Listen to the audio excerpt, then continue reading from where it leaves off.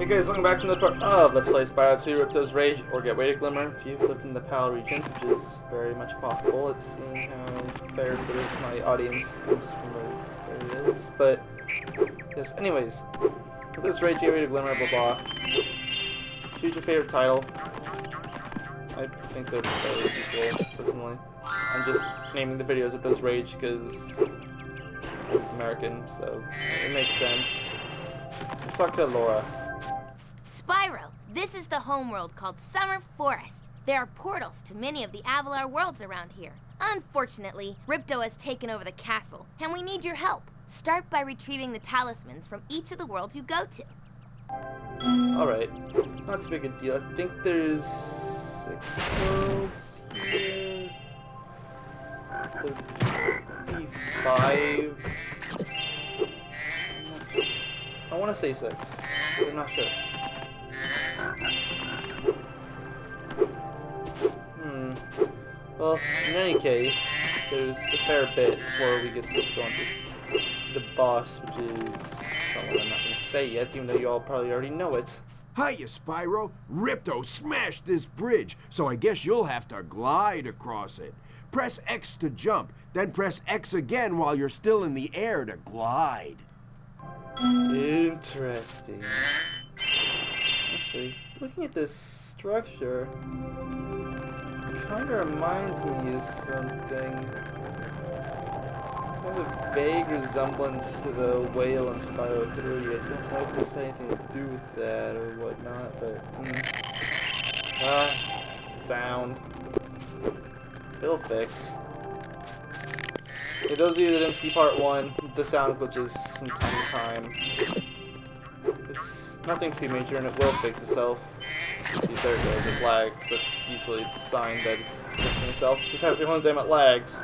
It's fixing the sound sound sync. I'm trying to figure out what the sync issue is, but it might take me a while. I'm just gonna try to frame parts for a while, but Hunter. Hi, Spyro. You look like you're pretty agile. Let's try putting it to a test.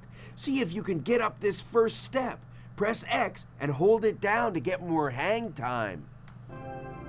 Would it even have been possible to get through Glimmer without knowing that, Hunter?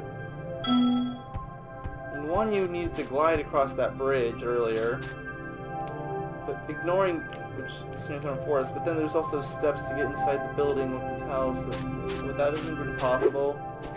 Hunter? Okay, not bad. Now to make this next jump, you'll have to glide. Press X to jump, then press X again at the top of your jump to get the maximum glide distance.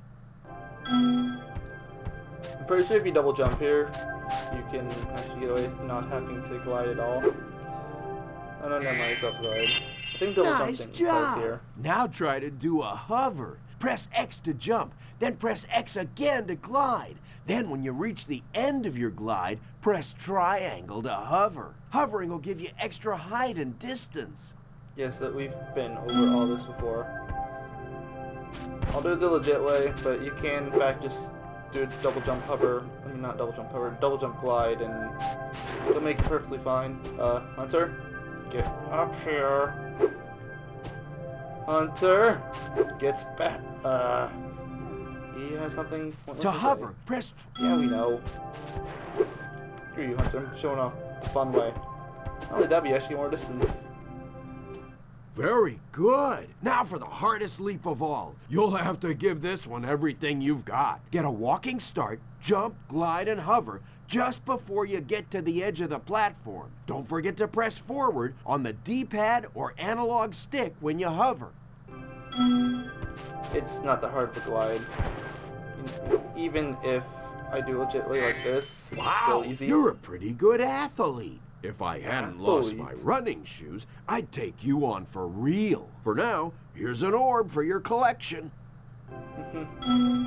well, we get an orb. That's nice.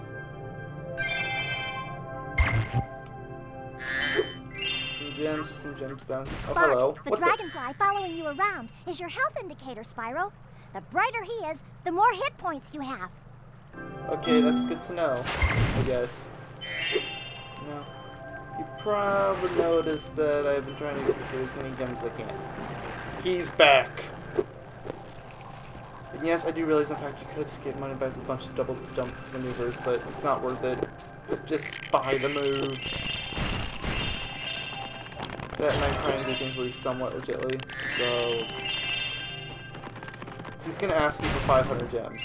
Let's see if we can make that. Whoa, slow down again. Which makes sense because we have this time. But, um, is, is there anything else around that I can get? Hope so. I heard an. Which, I guess, makes sense. There's an orb around here, but it's really tough to get, so... Mm, not tough to get, but it's tough to get when you're trying to do it with the double jump maneuver. Someone that's a retired Spyro speedrunner, I would know this. Well, I, I, call myself retired. I'll go back in if I'm giving given a reason to. But the, people like to speed on the with. Sometimes we just, yeah. So it's like quit. Let me double check something. I tried to pause the game, but it's really slow. I'm just gonna set a couple things. Map is on, camera's active. Oh, but it takes some time to unpause. Let's see how it is. I should have checked the gem bars, boss. What was I thinking? Um... There any jumps around here I can still get, or will I have to go into another level? Starting to seem like... Maybe I can do a swim bridge. Um...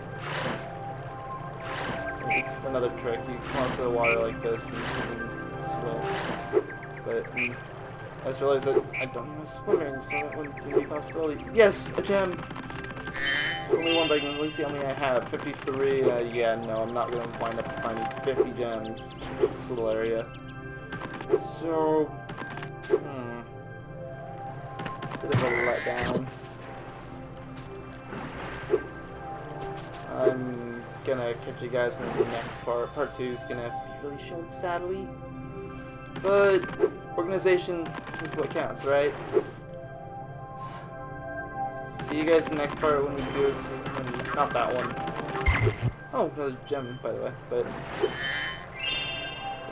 Ooh, two gems. Still not enough. We're gonna go through Colossus. There's a reason I'm going through Colossus, but I'll explain that in a little bit later. So, see you guys then. Bye.